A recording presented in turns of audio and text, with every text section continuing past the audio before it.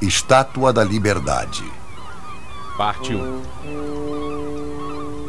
Durante toda a viagem, eles estavam falando que nós iríamos encontrar uma bonita senhora com uma tocha. E eu não conseguia visualizar a cena.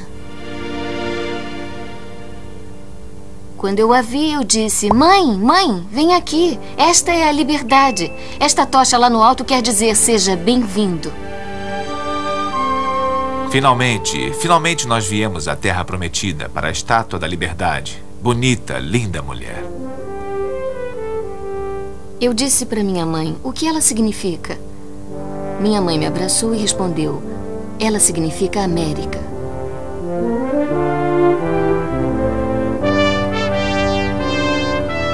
Ela ergue-se das águas da enseada de Nova York. Um colosso moderno de metal, o maior jamais inventado até os dias atuais, o mais duradouro símbolo da esperança americana para o país. Tal como os milhões de americanos que passam por ela, a história da Estátua da Liberdade começa do outro lado do oceano, em um país tumultuado. O ano era 1865. Em Paris, o regime duro e beligerante de Napoleão III tornou o democrático sonho da Revolução Francesa em uma memória sombria. Para alguns liberais franceses, a América era a verdadeira inspiração dos ideais democráticos perdidos da França. Eles almejavam a fraternidade que uma vez ligara Washington a Lafayette. Entre eles estava o escultor Frédéric Bartholdi, que pensou em desenvolver um monumental presente para a jovem nação. Eu tentarei glorificar a República e a liberdade lá, na esperança de um dia achá-las aqui de novo. Ele queria que seu presente fosse a primeira coisa que os visitantes vissem quando entrassem no Novo Mundo. Então escolheu Bedloe's Island como lugar indicado. Se os americanos pagassem por um pedestal, ele prometeu a si próprio que a França pagaria por uma estátua colossal. Bartholdi pensava sempre grande. Seus trabalhos mais recentes eram bombásticos e patrióticos, mas eles eram pequenos comparado a este próximo trabalho que iria levar 15 anos para ser feito. Ele nomeou Liberdade Iluminando o Mundo. Moldar a estátua foi a maior realização de Bartholdi. Na França, ele começou a testar modelos em cerâmica e bronze em tamanhos cada vez maiores. Tochas de madeira foram feitas como modelo e, em seguida, gesso era colocado por cima. Em sua oficina em Paris, metalúrgicos cuidadosamente cortaram enormes placas de bronze norueguês em pedaços tão finos quanto uma moeda para se adaptarem aos moldes. Cada detalhe da estátua, desde seu penteado até as pregas do vestido, foi meticulosamente trabalhado. A cor original das peças, um marrom escuro, foi gradualmente se transformando em um cinza claro por causa da maresia do Atlântico. A enorme estátua teria também de resistir a ventos de mais de 200 km por hora sem tombar no mar. Bartholdi procurou o mais brilhante engenheiro civil da França, Gustave Eiffel, para desenvolver um engenhoso sistema de suporte de 1.800 vigas, incluindo um esqueleto principal e uma série de estruturas que permitiriam as placas de cobre expandir e contrair de acordo com o tempo, sem rachar. O andaime desenvolvido por Eiffel era o mais alto jamais criado até então, elevando a gigantesca senhora por sobre os tetos de Paris para que todos pudessem ver. Mas enquanto Paris estava exultante, a América vacilava. As contribuições eram pequenas. Tinham arrecadado bem menos do que os 250 mil dólares necessários para a construção do pedestal. Bartholdi levou a tocha para exposições beneficentes em que visitantes eram convidados a conhecer e subir no pedestal. Finalmente, o editor Joseph Pulitzer conclamou os cidadãos de Nova York a apoiarem o pedestal. O pedestal sozinho já era uma obra-prima da engenharia e foi desenvolvido por Richard Morris Hunt para harmonizar com a estátua e não competir com ela, e principalmente para suportar um peso de 225 toneladas de ferro e cobre.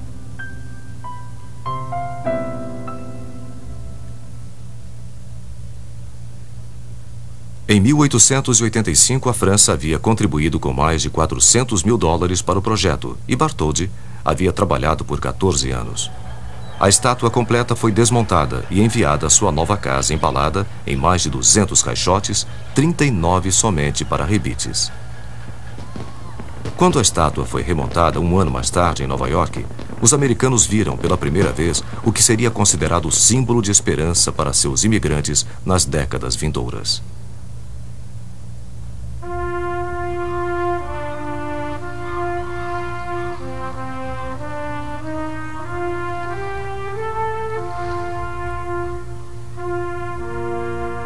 A estátua terminada era da altura de 15 andares, com um dedo sozinho medindo 3 metros.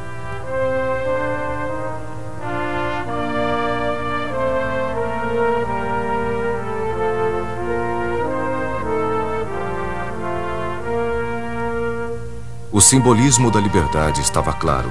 Uma placa com a data de 4 de julho de 1776. Sob seus pés, grilhões rompidos representavam o fim da escravidão.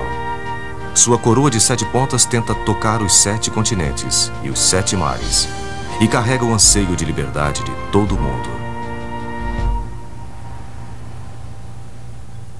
Bartholdi queria que ela fosse acesa pelo lado de dentro, e no início do século XX, uma fraca luz elétrica saía das brechas da tocha.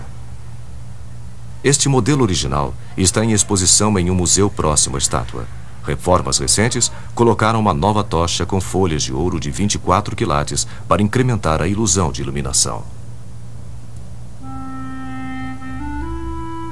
Aqueles que vieram em busca do abrigo da tocha vieram atrás de uma vida melhor, fugindo de exércitos, para juntar-se a um parente, livrar-se de um perseguidor. Eles vieram por causa de rumores de ouro nas ruas, vieram em trapos. Ironicamente, suas primeiras horas na Terra da Liberdade eram gastas normalmente confinadas na Ellis Island. Imigrantes a chamavam de Ilha das Lágrimas. Aqui, à sombra da Estátua da Liberdade, 16 milhões de almas esperançosas invadiram Great Hall, esperando sua sorte. Alguns deles condenados a serem postos de lado, doentes, ou que aparentavam ser mentalmente deficientes, eram impedidos de entrar no país e voltavam nos mesmos navios que os havia trazido.